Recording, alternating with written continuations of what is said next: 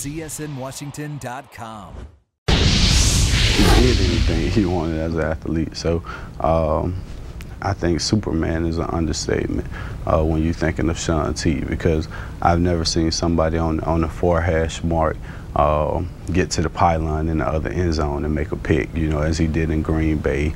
Uh, or, or, just the way he delivered upon impact uh, to be in the box and end up covering the deep ball and the fear that he installed. You know, I don't think in today's society you're going to find too many uh, athletes that instill fear in the next man. I think with the direction that the game going, uh, Sean Taylor probably was the last of his kind. You know, um, you you think of Sean T and you say he should have played with Jack Lambert back in the day uh, when the Raiders was nasty or uh, the Steelers defense. You know, you don't think of him in a modern day system. Uh, you know, a running lot type. So you, you really don't, you won't see that again, especially with the rule change.